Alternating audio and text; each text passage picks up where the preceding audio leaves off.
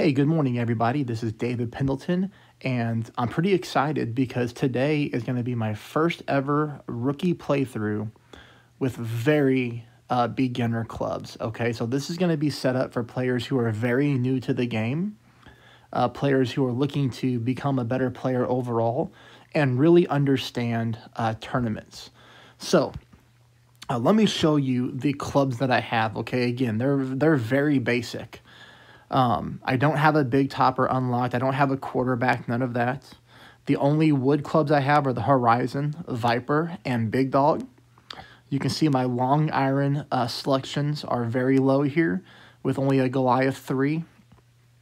And, you know, short iron wise, I really have to resort to using the Kingfisher, which is a club really not many people play with at all. And then I only have one wedge unlocked, the Dart. And same thing here for the rough iron. Um, you know, two two rough irons unlocked, but using the rough cutter. And sand wedge, you know, we have the Desert Storm and the Malibu. So, you know, this video is really going to be tailored towards newer players to the game. Now, here's what I ask of you. If this is your first time watching me or your first time watching a playthrough, I challenge you to not skip through any of this content. I will talk a little bit about the game, I'll talk about how to make you a better player. I'll talk about some things to avoid. And I'm going to explain some things like elevation, um, which you may not be 100% familiar with, or also how it works. Now, you know, I want to get rid of the misconception that you have to have great clubs in this game in order to compete because you do not. Uh, you just saw my bag, and you can see here that I shot a very good score on day one. So this is no practice round about and you know minus 14. Now you look at this person above me. Uh, this person is actually a professional streamer online. This is Christian. This is his one of his Toast of Golf Clash accounts. And if we take a look at his account here, um, you're going to see that this guy has, you know, almost 1,900 trophies. He has several very high tournament finishes. He's played in 1,646 games. And, uh, you know, I can guarantee you, if you go look at his stream, his clubs are way, way, way better than mine. You know, this account right here um, has only played, you know, 533 games, and it's basically all Tour 2. I have never taken this account out of Tour 2 which is why my clubs are very low and limited. And I did that on purpose so that I could give, you know, a good playthrough for all the true rookies out there. So, you know, please um, subscribe if you're not a subscriber yet, and please hit the like button. You know, those two things really help me out. And then I'm going to get into the replays here in just a second. Now, if you're somebody that has better clubs, Keep in mind, I'm going to continue to do my normal rookie walkthrough, uh, which is with more advanced clubs. I'll probably have that out tomorrow afternoon at some time. And I also do professional uh, content as well. So for the pro division, I'll have that out either tomorrow or Wednesday. Um, so let's go ahead and, you know, hop into the replays here.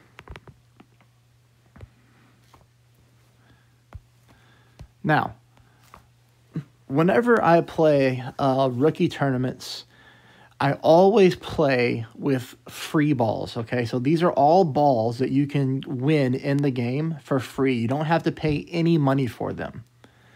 The Berserker, uh, there are quite a few holes in this tournament that the Berserker would do really good on. Um, but I don't know how many of you have Berserkers out there. So I'm only going to use it on one hole, and I'm going to use it on hole number one. If you don't have a Berserker, then I want you to play this with a Titan. And a lot of people uh, wonder why not use a Kingmaker because there's a conception out there that a Kingmaker is better than a Titan. Um, well, it's really not. It just depends on your wind scenario. So think about this. Uh, you know, if you're a new player, you might not have made this correlation yet. So a Titan ball gives you a power three, and a Kingmaker is a power three. A Titan ball gives you side spin two, so you get two bars of side spin on either direction. A Kingmaker gives you side spin three, so you get one more bar of side spin. And then a Kingmaker reduces the wind one more level than a Titan does. Now, on a hole number one, you can see here that we're getting a crosswind with a tailwind. So the wind is blowing a little bit north, meaning that the ball is going to go further off of our drive. So if I were to use a kingmaker on this hole, my ball would not go as far because I'm reducing the wind, and that's not something we'd want to do.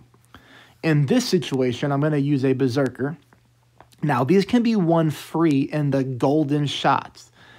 Uh, you know, on the hard edition. So if you're a newer player to the game, you may not be taking that shot. But if you would like, and you need to tell me in the comments, uh, every week I can do a golden shot tutorial guide that no matter your skill level of the game will help you get very close to the hole in one every time. That way you can load up on Berserker balls because it's one of the better balls in the game uh, you can get for free.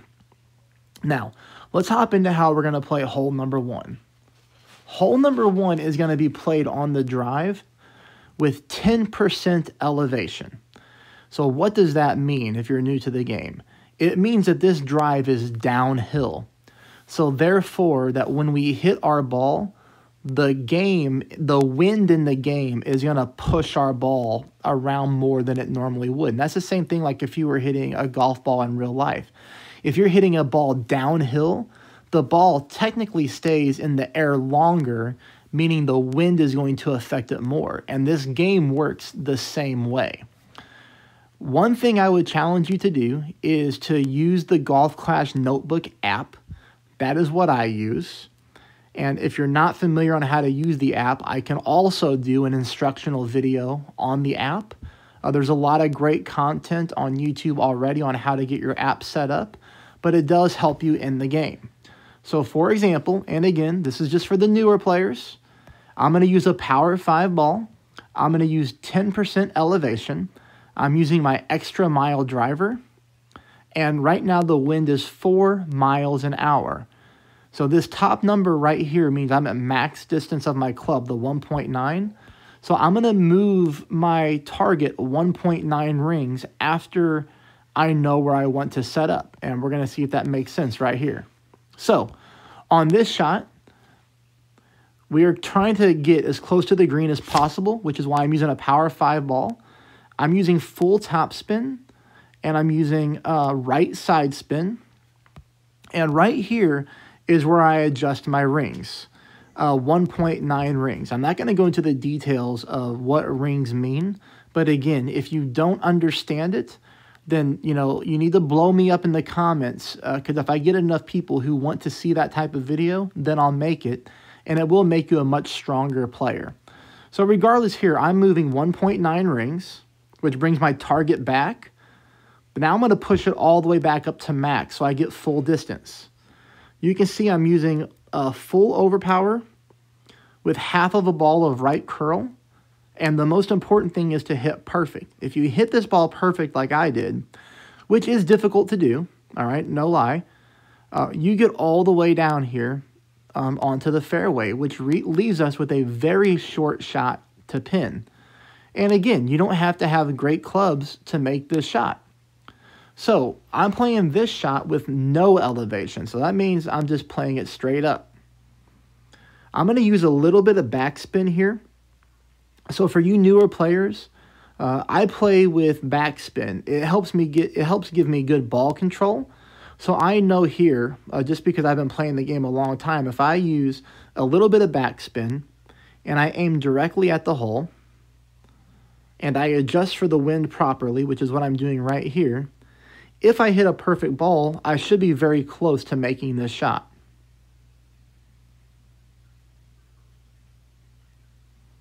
Okay, so you see here on this par 4, we pick up an eagle. That's a great way to start the tournament.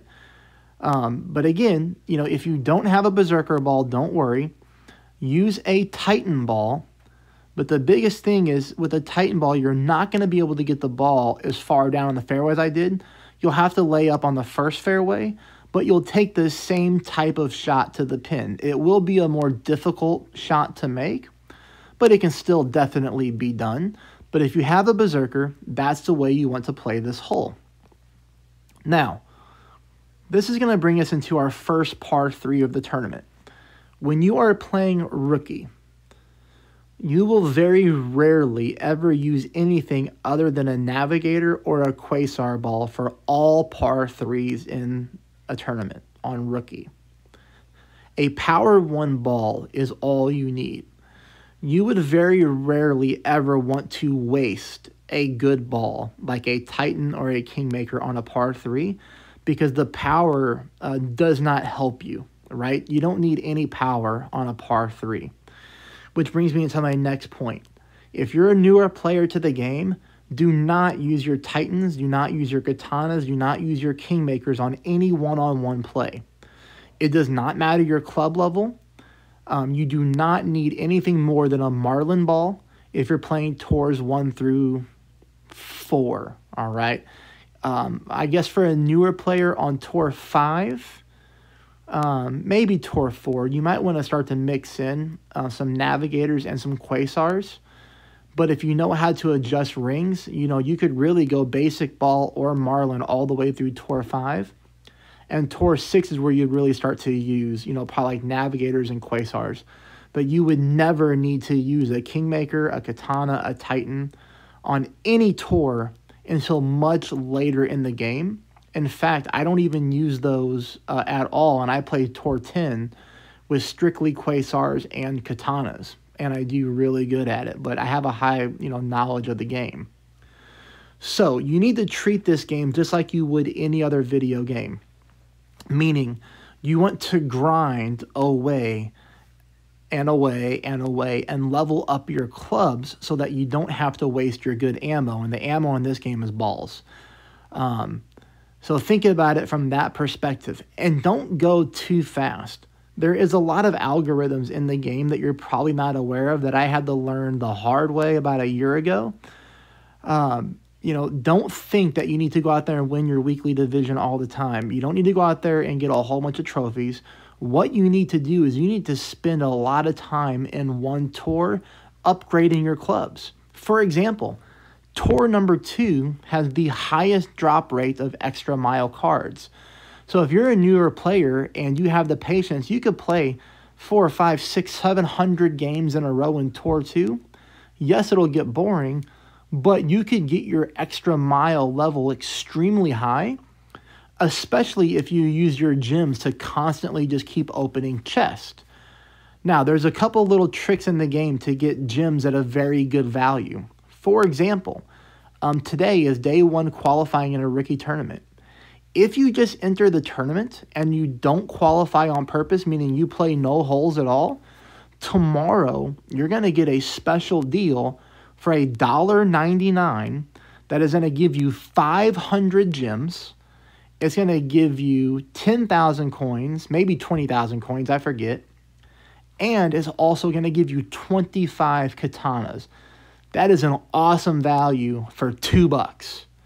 You could use those 500 gems to just keep opening chests nonstop, right? So it's 20 gems to open up a silver chest. So you could open up 25 chests in a row um, for only two bucks. And that would allow you to gather a bunch of club cards and progress your clubs that way. Do not rush through the tours because you could get to the point to where you're going to get out clubbed.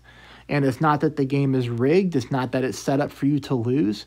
You just have to understand that when you get in higher tours, you might be playing someone like myself who who knows how to grind the game and who has patience and they're going to kill you because their clubs are much higher. Fair or unfair, this is a video game and that's how it works, okay? That's enough of me talking. Let's go into hole number two.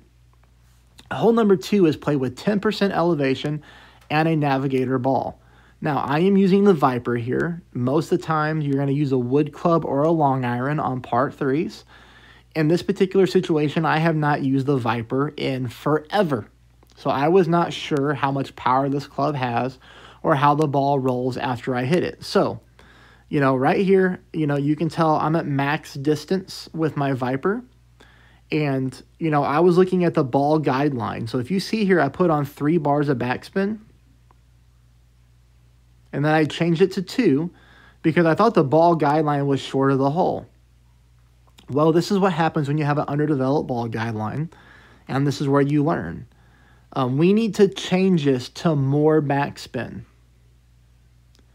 You're going to see here that two bars of backspin put me in the sand. So that club is a little bit more powerful than I thought it was. Everybody, I want you to change this to four backspin.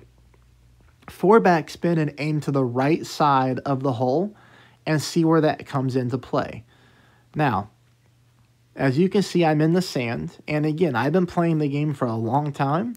So, you know, being in the sand or being in the rough, like, doesn't uh, doesn't really affect me too much. I'm pretty good uh, with hitting out of the sand on perfect balls, which I did here. And I still picked up the birdie. So we got the birdie on the par three. We're off to a really good start in this tournament. Now, hole number three is where I really need everybody to start paying attention because in a tournament, you're going to be changing your bag a lot, especially if you're in a lower clan like I have this account in, and I only have two bags. So, hole number one, we played with our extra mile, and we only had to play with a long iron or a short iron. So, really nothing needed there outside of your normal clubs. Hole number two, you're going to use your normal clubs. But hole number three, we are not going to use our normal clubs that we use. We're going to use a rocket driver and we're going to use the Horizon as our wood club. It's very important that you take that down for notes if you're following me because you don't want to come to this hole with the wrong club combination. Now, uh, can you play this shot with your extra mile? Absolutely, you can, for sure. But the reason we're using the rocket is because we're going to play on the right hand fairway, which is a very, very small fairway. The rocket is less powerful than the extra mile, but we do not need power to make this drive successful.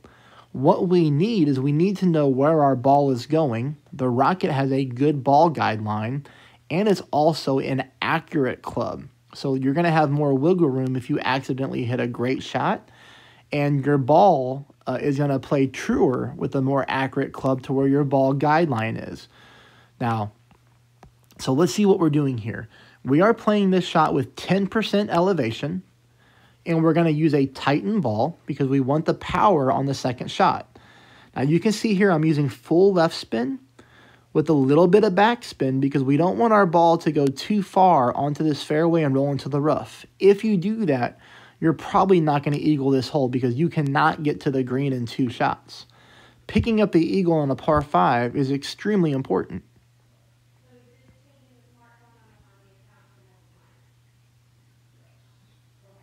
And you can see on the drive here, I use a little bit of curl to the left. I call this baby curl. So let me rewind it and show you what I'm talking about. Okay. So after I set my shot up, all right, so this is basically where I'm aiming. I'm kind of aiming on the right hand middle side of the fairway. And then when I go to take my shot, I use that curl right there. So I call that baby curl. If you ever hear me refer to baby curl, that means I'm taking the left side of my ball here and just touching the left side of the target. If I say baby right curl, same thing. Right side of the ball would touch the right side of the target. And the reason that I do that is because I'm trying to get a little bit more towards the middle part of the fairway, which is exactly how I land here. And that's going to bring us to the shot with the horizon. The reason that we're using the Horizon over your Big Dog or your Viper is because we want the top spin and we want the ball guideline. The Horizon has a very good ball guideline and it has a ton of top spin, which is going to help us get onto the green here. So in this situation, I used full left spin. And I take that off because I don't want to go into the rough on the left-hand side here. And we're going to be playing pretty close to the rough. So I decided just to make this four and a half top spin. And again, no elevation. So what I'm doing here is I'm moving my target um, based off of mathematical science to the game. And if I do this correctly, my ball is going to land exactly uh, where I aimed, as long as I hit a perfect ball. Now, I didn't hit a perfect ball. I hit a great shot to the right. But the good part is that's okay on this particular hole. And since I hit great right, I came in just to the right a little bit. And who knows what would have happened with a perfect ball. Maybe we would have picked up an albatross. I don't know. Uh, hard to tell. But as you can see here, we are right next to the cup for, for a very easy eagle on hole number three. So now we're starting this tournament minus five through the first three holes, which is a great start, uh, especially, especially with these clubs. Now, we're going to be playing um, again with another odd club here. I really wanted uh, to use a Goliath on this hole, which is a club that I would normally use in rookie. But my Goliath is only a level 3, and I wasn't sure if I was going to have the curl that I needed to make this shot successful. So I went with the Grim Reaper. This is a club that I don't think I've ever used before, uh, period, in the entire game. But we're going to play this 10% elevation. We're going to play it at max distance of our club. And you're going to see the spin that I went with here, which is going to be three bars of backspin and three bars of right side spin. Now, that three bars of right side spin is actually max for a katana. And if you look at my ball guideline, I've kind of got it, you know, parallel with the hole. And again, this is a 10% elevation adjustment. This tree is kind of getting in my way here, which is pretty annoying. But again, if I do this correctly and I hit a perfect ball, then my ball's going to go exactly where I was aiming. Now, look at my right curl. I'm using a significant amount of right curl. It ends up being just too much.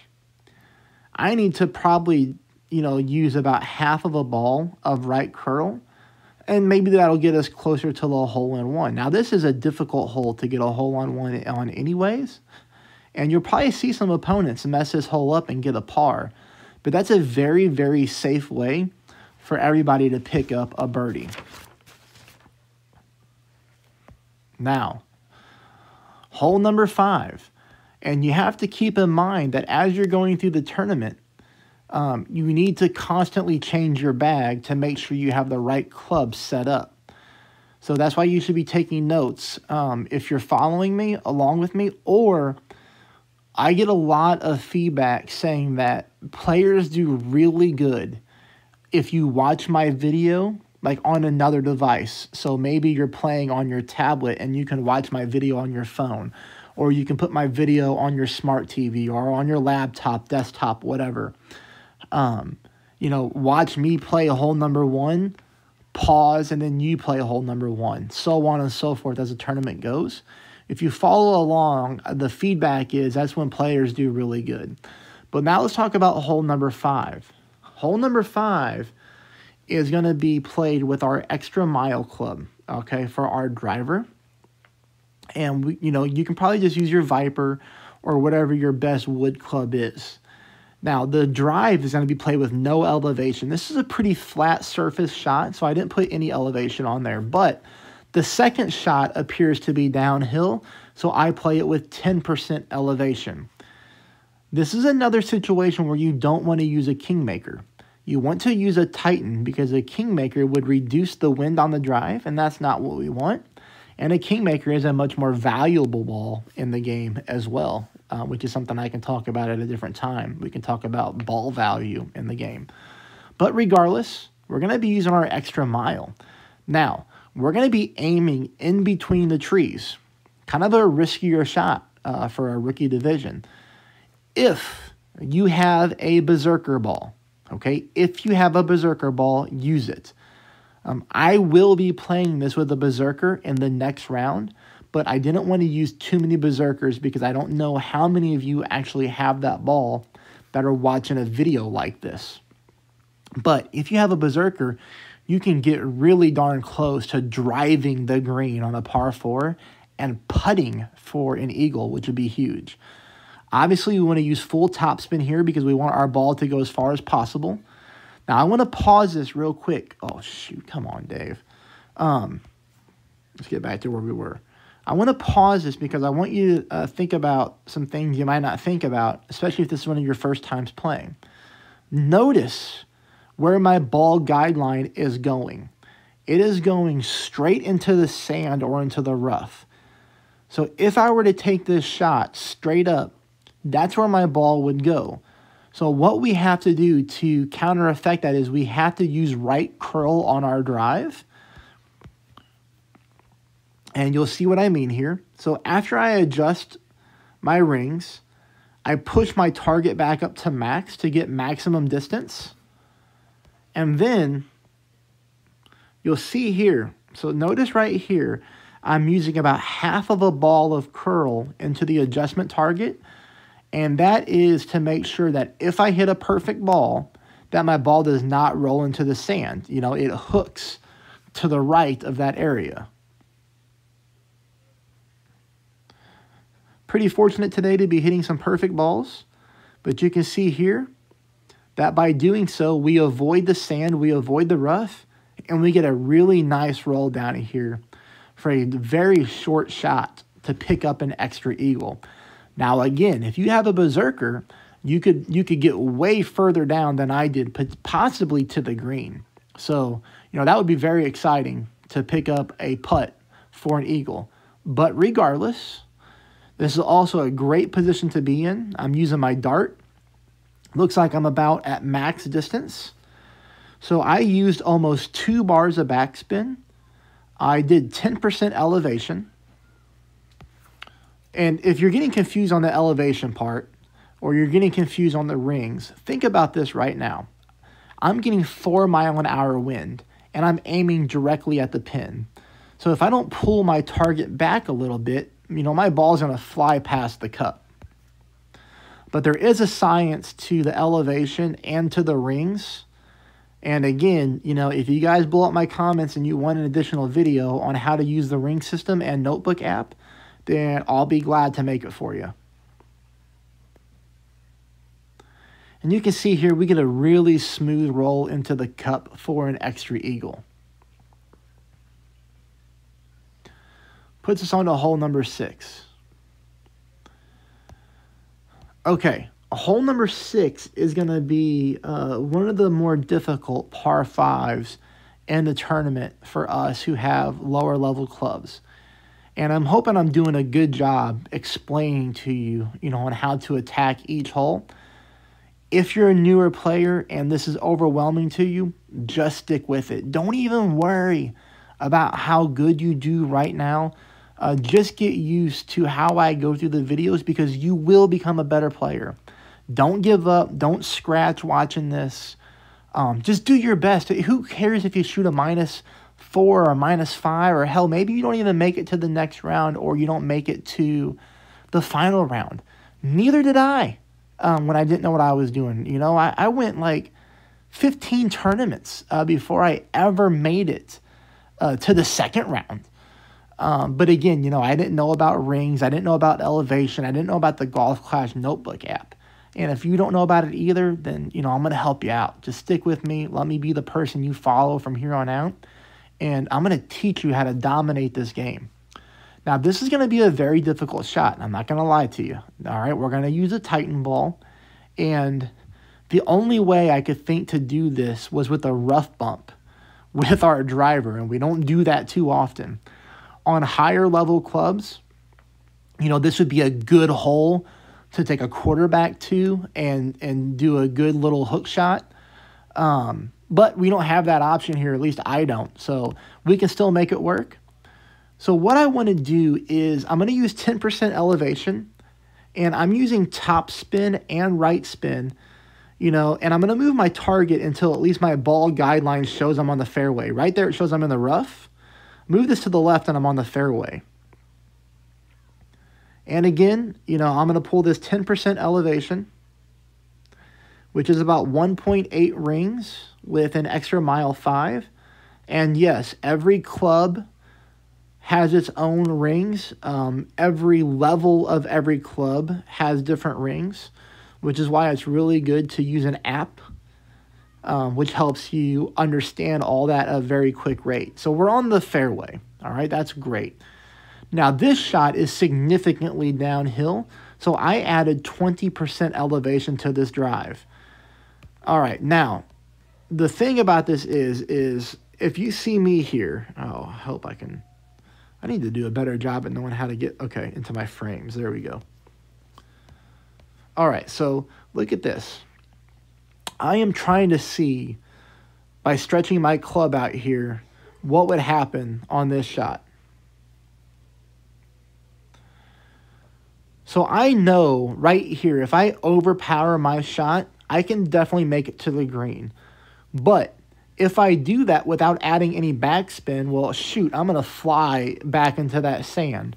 So here's what I decide to do. This is going to be uh, the best way for you to approach it if you're in a similar spot as me. Um, since my since my club right here is in the rough, that's as far as my club will go. I know I have to overpower to make it this way. So what I do here is I add full backspin, okay? And I add left side spin. Now that's a lot better. I know that if I overpower my shot, you know, my ball is going to die on the green or on the fairway, which is exactly what I want. So now we go back to taking the shot.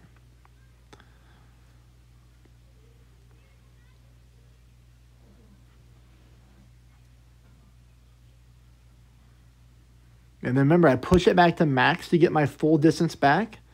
And I'm using the overpower. About half a ball of overpower. I didn't need a whole lot. But that's what we want. And you see here, this is great. We're on the green on a par 5 with low level clubs picking up our eagle. Okay, now this is going to be hole number 7. I was a little confused on how to play this one because I normally would play this shot with the Goliath, which is a more powerful club than a backbone, but less accurate. But it's a club I'm used to using. So um, we're still on the green, so don't judge me for this shot because it's not very good. But um, you know, I was just trying to find a good spot to land. Now, the biggest thing about this hole is you have to understand that this slopes the green very fast. So if you hit this ball too hard or you don't apply the correct backspin, if you go too far onto this hole, you're going to go way down the green into the rough. And that's bad news. That's a very difficult shot to make. So I decided to play back here and use, you know, two and a half bars of, of side spin to the right. But I should have trusted my ball guideline and saw how short I was you know, but I got a little bit nervous because of hole number two to where my ball guideline was short, if you remember, with my Viper Club, but then I went too long into the sand. So, you know, I didn't want to gamble. I played this one 10% elevation at medium distance of my club with no curl. And as you can see, you know, it was just too much backspin. But that's okay. You know, that's obviously a very easy putt uh, for a birdie with no fear of going too far onto the back side of the green. You know, but this is something that we might be able to get a hole in one on as the tournament progresses. Okay. Hole number eight. Now, um, hole number eight, if you have a big topper, and a big topper at any level will work. I don't have a big topper, but I have several replays of this hole saved because this is um, tour number eight, which I have a lot of YouTube videos on. And this hole, if you have a big topper at any level, is actually a very easy hole to drive the green on. And that's going to be a huge advantage in this tournament because you're going to be putting or chipping in for an eagle on another par four to where a lot of your opponents are going to get stuck in the sand, they're going to get stuck in the trees, or they're going to get stuck in the rough. Here is what you need to do. This is all you need to do with a big topper. Is you're going to apply full top spin and then a half of a bar of left side spin. And you're going to aim just in front of this uh, sand bunker here until your ball guideline, okay, do you see the ball guideline at the bottom? So, so look down towards the fairway and green area. Notice how my ball guideline is just barely barely touching the fairway. That's very important. If you put too much of your ball guideline into the fairway, your ball is actually going to top spin past the green into the sand back there. So having it just on the rough line and barely onto the fairway at the bottom is perfect. From here, you're going to adjust at no elevation. And I apologize for how grainy this is because I took a uh, screen recording of a video and I guess is just how it turned out. But you're going to see when you play it this way, if you do it exactly like I said, your ball's going to clip the rough right there and come in very good speed to get down here towards the hole. But um, I don't have a, a big topper on this account. So I was trying to use a Horizon Club because a Horizon Club has a lot of topspin, and um, it did not work out well. So, you know, it just doesn't have enough topspin to power us down to the bottom here where we need. But uh, I'm going to just continue to play it this way, okay? Because I'm not going to get stuck in the top of the sand here. And I'm okay to just play this one for a birdie. You know, that's really hard for me to say because this this hole with the right club is an easy eagle to get. And I would love to have a good club on this account to do it, but that's the point of this account. This point is to not have good clubs and to help everybody um, who doesn't have good clubs. But regardless, I get stuck in the bunker here. That's not a big deal. That's a very easy uh, shot onto the green. I did not make the shot, but it's all it's still going to be a birdie. Okay, you're picking up a birdie on a par four. That's good, and then we move on to the next hole, which is going to be um, our last hole. Okay, hole number nine. So do me a favor, everybody. I really, really hope this is helping you. I really do. I just want to make everybody a better player at the game. And I want to make everybody understand that if you know how to play the game, you don't have to have good clubs. You don't have to spend money on balls in order to win tournaments or to even place high in tournaments. If you haven't done so already, please subscribe. Please hit the like button. And, you know, if you're a generous person and you have the means to do so, please support my channel via a donation. I put a link to my PayPal in the comments section. So, you know, if you're somebody who, who finds this helpful and you have the means to donate, please do. Um, it really means a lot to me. Okay, hole number nine, here we go. Hole number nine, you're going to use an extra mile for your driver and you're going to use a big dog. The big dog is the wood club. We need a lot of power. I'm playing this shot with 20% elevation as it's pretty good downhill. So I pull my 20% here and I just leave the target where it's at. You know, that way my ball doesn't go too far. You saw my backspin. I was using full backspin because we don't want to roll into the rough. If we roll into the rough, we're dead in the water. Apparently my iPad is dying. Need to get it hooked up. Looks like it's Goober's turn. I don't know why it's still going okay. Now, this shot um, was not is is very tricky, and I feel like I got pretty lucky. I'm pretty far away from the green here. Um, and this is again just not having good clubs. I was hoping I could do a rough bump with a big dog, as that's how I've played this hole before in the last tournament, the Redwood tournament. But uh, I can't. and I'm well short, so I had to go full top spin. Now keep in mind when I say full top spin, Okay, I'm referring to a big dog three. If some of you folks have better big dogs, you got to be really careful with the top spin because you're going to have more than me. So I would say if you're in the same position as I am, look at that four top spin and two less spin. Uh, that's plenty because I almost hit this ball too far. Now, I adjusted this one with no elevation, uh, uh, period. I didn't even adjust my target. I just took the shot because I was so far away and it's pretty much a dead tailwind. And I would have loved to clip the rough right there and and slow my ball down. So I feel like I got lucky that my ball didn't roll too far. And obviously this was a very um, this is a very simple shot um, to get the eagle. So, you know, there it is, everybody. Uh, minus 14 on very beginner-like clubs. Kind of a true rookie account. Again, you know, I hope you found this helpful. You know, I hope you choose to follow along with me every week. I have a great following of people. You know, we get a lot of great comments, and, you know, it seems to be a pretty good community here in this channel. Good luck, everybody. I hope you kick butt. Let me know what you need in the comment section. Thanks.